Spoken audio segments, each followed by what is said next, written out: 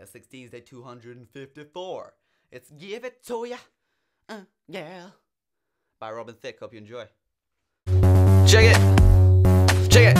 Let's go. Yo. I got this way I do things You're not expecting from me. Push and shove you like I'm above you. Much too rough for someone half your height.